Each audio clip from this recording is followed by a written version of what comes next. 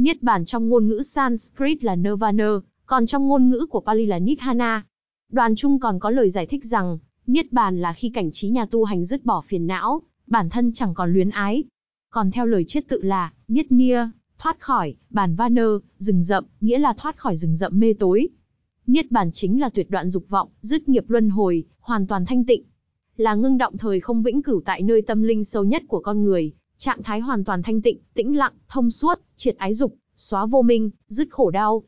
Phần lớn tôn giáo đều nói con người gồm hai phần, phần xác và phần linh hồn. Phần xác tồn tại tạm thời, phần hồn tồn tại vĩnh cửu, nên khi phần xác mất đi, linh hồn sẽ phải đầu thai vào thân xác mới, bắt đầu cuộc sống mới. Duy chỉ có triết học Phật giáo không cho rằng linh hồn là bất tử, nên không cần không gian cho linh hồn cư ngụ. Đích đến trong Phật giáo không phải là tận diệt cá thể đầy ham muốn, dục vọng trong sự u tối nơi kiếp người để đi tới niết bàn. Thế giới thực tại là khổ đau, thì niết bàn là khổ diệt, thế giới thực tại là không sáng suốt vô minh, thì niết bàn là sáng suốt vô minh diệt. Có thể thấy nhiều đoạn kinh Phật nói về niết bàn như sau, tiêu diệt dục vọng là niết bàn, sự tĩnh lặng của mọi vật bị giới hạn, dứt bỏ mọi xấu xa, diệt dục vọng, giải thoát ra, chấm dứt, niết bàn, diệt hẳn, dứt khoát, xa lìa thủ, ái tận, vô dục, tịch tĩnh, niết bàn, chấm dứt dục vọng, vứt bỏ nó, thoát khỏi nó. Phật so sánh sự tiếp nối các đời trong luân hồi như lửa cháy tiếp nối trên ngọn nến. Nến tàn, nến khác lại thắp lên. Ngọn lửa truyền từ cây nến này sang cây nến khác, như năng lượng nghiệp truyền từ đời này sang đời khác. Con người chỉ giải thoát khi nào dòng năng lượng tắt, dứt được nghiệp quả luân hồi. Sau khi chết, người giác ngộ sẽ đi về đâu? Phật sai lượng củi khô, rồi nhóm lửa. Củi càng nhiều, lửa càng mạnh, không thêm củi nữa thì lửa tàn lụi dần.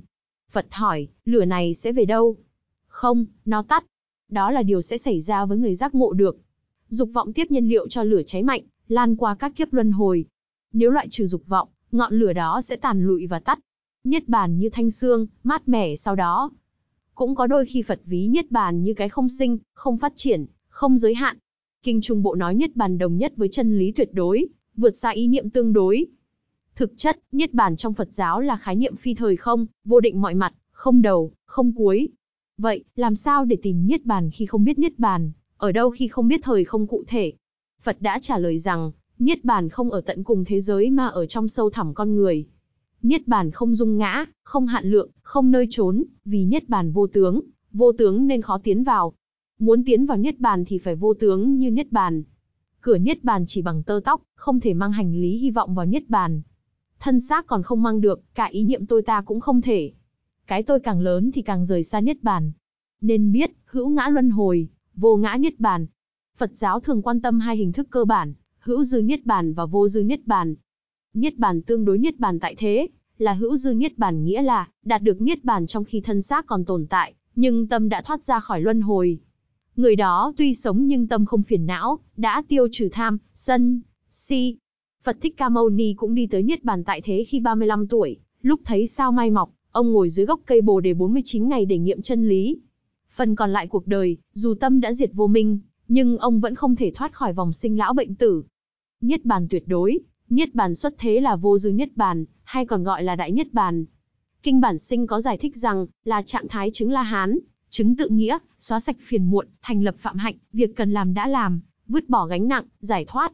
Mọi cảm thụ bay đều không do nhân, không mong cầu, không hy vọng, thanh tĩnh không lý luận, không bảo có, chẳng nói không, cũng không cho rằng chẳng có chẳng không. Đạt được vô dư niết bàn khi đã chấm dứt mọi tồn tại của thể xác.